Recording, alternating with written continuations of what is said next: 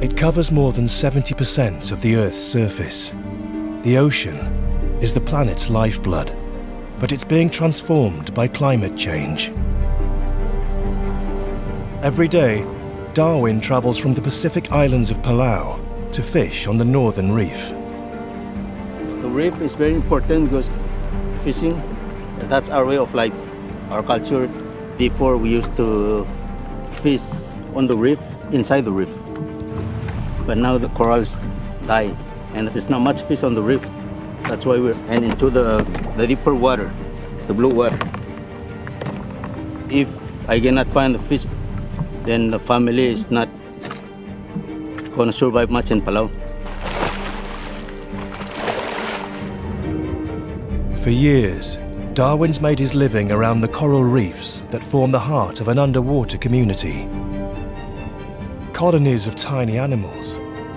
Corals host one in four of all marine species. But they're dying. Over half are gone already. The rest facing extinction on a scale that could lead to devastating changes for the ocean, the planet, and everyone on it.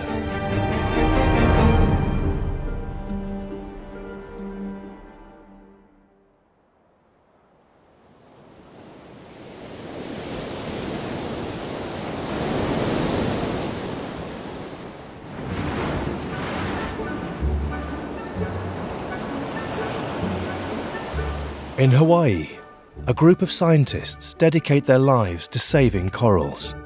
The cost of doing nothing is enormous because we could lose one of the most significant ecosystems on our planet. Oceans are dying, our reefs are dying. Sometimes you want to just scream and shake people and be like, wake up and look and pay attention.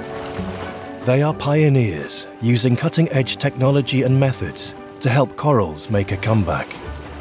In the lab right now, we're doing some tests with the corals that, uh-oh.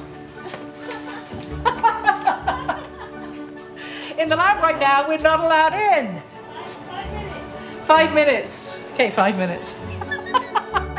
Dr. Ruth Gates has been working to preserve corals for the last 26 years. Oh, look at that. That's cool. That's set up over there. So we're measuring photosynthesis and respiration rates of the corals. In my first dive on the reef, I dropped my regulator out of my mouth. I was so awestruck by this underwater garden that was before me. Stunning, stunning architecture, so busy, so beautiful. Today, what we're looking at is a semblance of that past self. It looks like a battlefield. There's nobody home. It is devastating to watch the death of the system you love before your very eyes. It's not just the beauty of corals that's being lost. Reefs provide crucial protection from storms and food or resources for 500 million people. Even the air we breathe, up to half the planet's oxygen comes from the ocean and the corals within. Should we be doing everything in our power to protect coral reefs at this point? The answer is yes, because in protecting them, we're essentially protecting ourselves.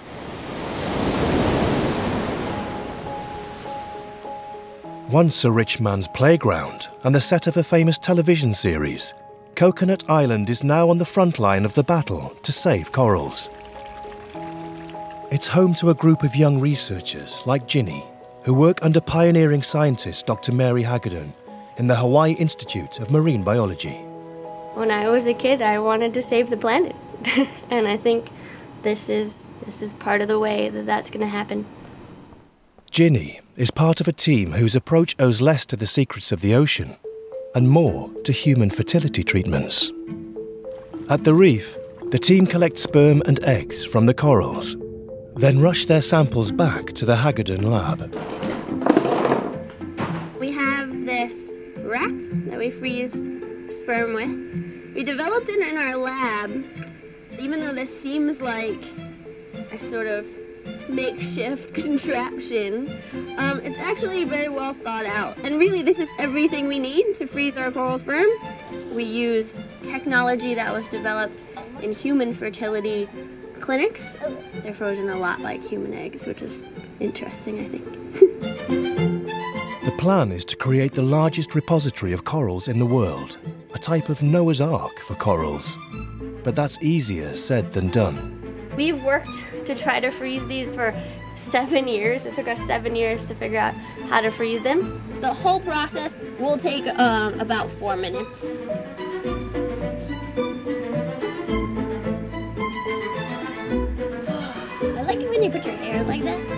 And it all just kind of like. I think I could do short hair. I just don't think I could ever dye my hair. Oh. Yeah. Are we there? Yep. Cool. Once the samples get down to minus 80, then they all get plunked into liquid nitrogen. These samples will stay in liquid nitrogen for at least 10 minutes, and then they'll get transferred into our storage containers. And theoretically, they can remain there and be stable for hundreds or even thousands of years. When I started, we were making an insurance policy for the future. And in the 12 years, it's gone from being creating this insurance policy to creating a bank of material that needs to be used right now. It's a race to harvest the basic building blocks of life before these tiny animals die. Are you okay with the rain? But the reproductive habits of corals don't make it easy. Reproduction for most corals only happens once a year, just a couple nights and only a few hours uh, per night. So it's a really limited window of opportunity to get that material frozen and banked down. Cryopreservation of coral was pioneered by the head of Ginny's team, and there are still only five people in the world dedicated to this painstaking task. We've banked down quite a few coral, but we're still under 20 coral. Of the 800 coral in the world, you know, we still have under 20 in our banks. Our coral reefs really provide so much for us, and so what's going on there is really more about what's going on for all of us. If it ceases to be or ceases to function the way that it's supposed to, it's going to make it so that we can't function the way we're supposed to either. It really comes down to not just a problem with the ocean, but a problem with our planet that will eventually impact us. Climate change has caused our oceans to rapidly become warmer and more acidic. In Palau, a chain of small islands in the Pacific, marine biologist Yimnang Golbuu is studying the impact on coral reefs. We're doing uh, surveys of the fish, corals. The damage was some places almost 100% and some places not as much. Oh, all right. Okay. Yimnang is monitoring harm done to the corals here that has now been found on reefs the world over. It's the tiny algae living within each coral who really feel the heat of climate change. These plant like organisms give reefs their vibrant colours, but traumatized by ocean warming, they're forced out, killing the coral they leave behind.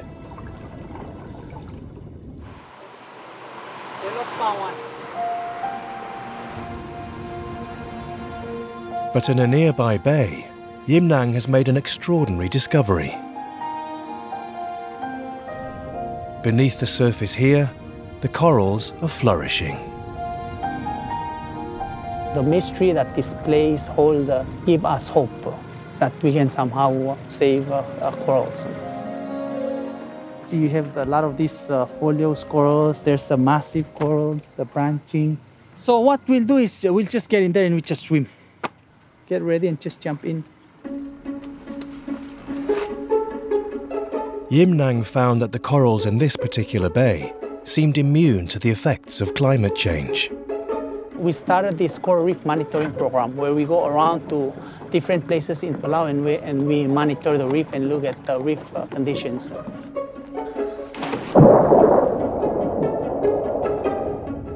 We found out the Nikko Bay area, they recover really fast.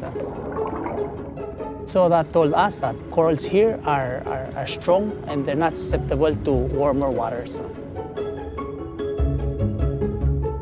We wanted to, to try to understand uh, how were they able to uh, survive in this kind of uh, environment.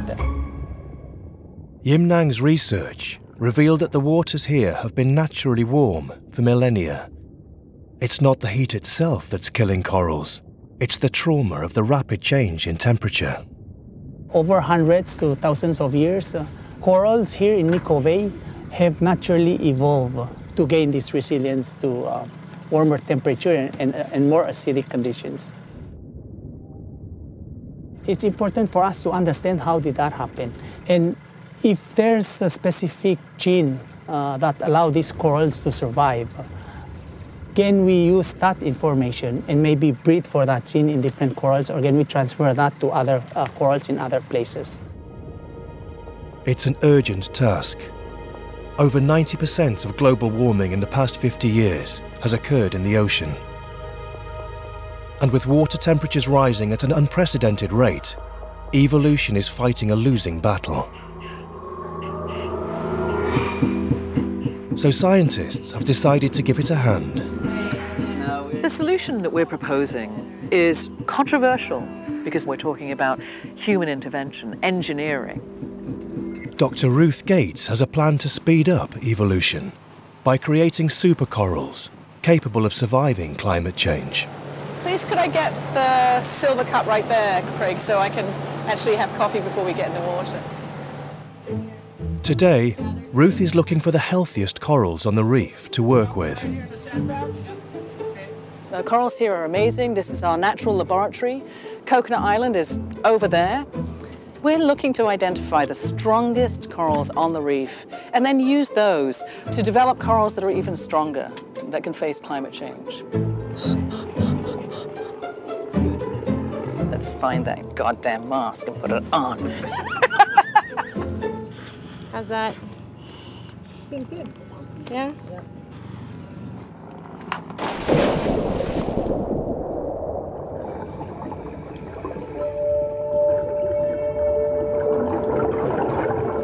This reef is really a good example of, of the amazing three-dimensionality. They're not just beautiful to look at, they house a huge number of other organisms.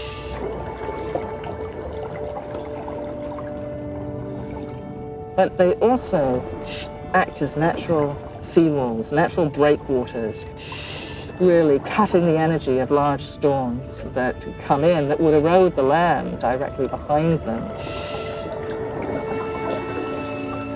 Ruth takes a sample of the strongest looking coral on the reef.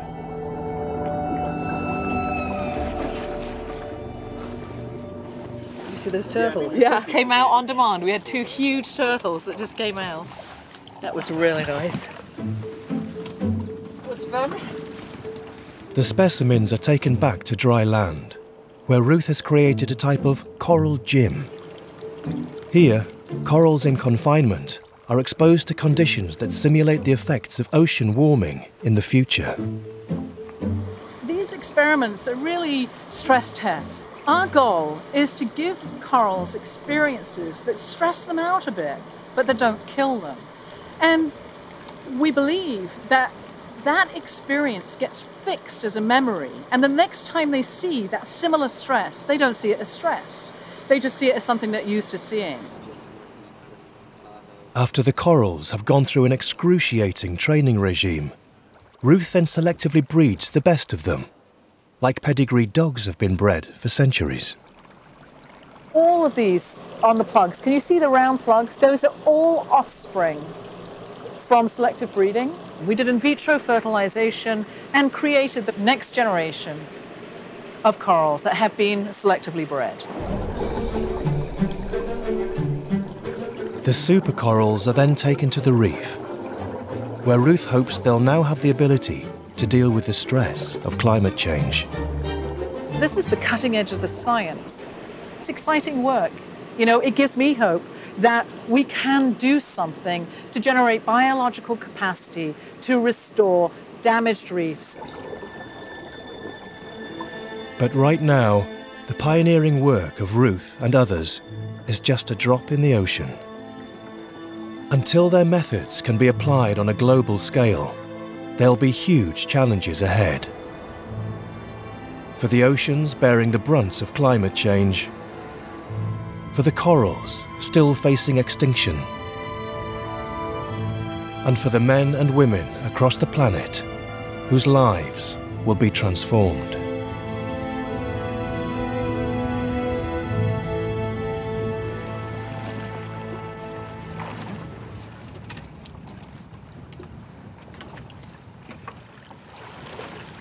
Uh, like it used to be.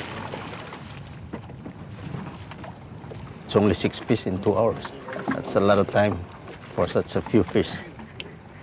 We won't be able to you know, feed everybody and sell fish, and before we know it, it's it's all gone.